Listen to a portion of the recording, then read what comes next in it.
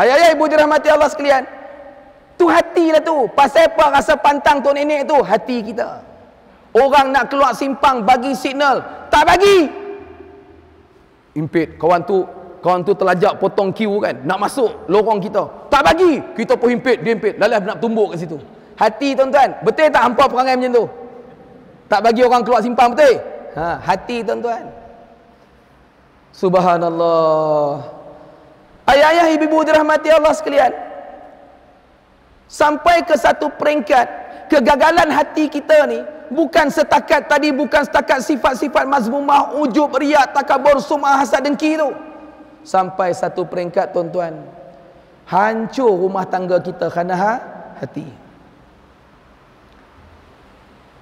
Kita tak hati kita tuan-tuan sekarang ni dunia realiti hari ni di mana letak hati kita hari ni di mana letak hati kita tu imam Realiti hari ni hati kita letak kat mana? Hati kita lah ni duduk kat mana? Realiti zaman hari ni hati kita semua duduk dekat handphone. Faham tak? Duduk dekat handphone. Nak makan pegang handphone, tengok TV pegang handphone, masuk masjid pegang handphone. Handphone tuan-tuan sampai baru ni ada satu budak cikgu sekolah tanya, "Pak hang kerja apa?" Dia jawab, "Kerja pegang handphone."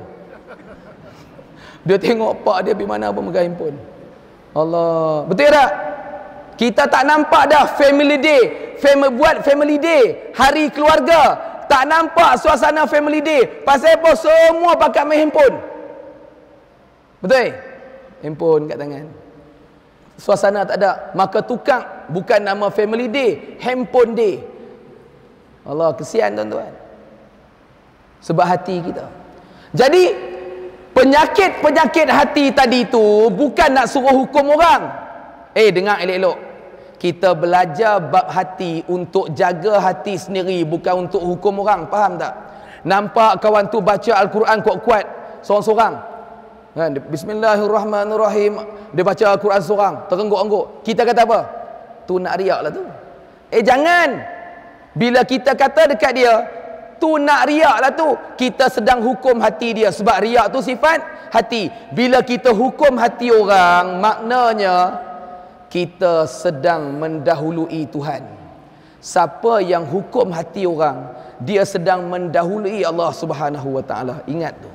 Kita belajar bab fiqh tasawuf belajar bab hati untuk jaga hati sendiri. Belajar bab fiqh yang tu untuk hukum. Faham tak mengaji kitab fiqah itu untuk hukum tapi mengaji kitab tasawuf belajar bab hati supaya jaga hati sendiri bukan untuk hukum orang. Kena ingat tu.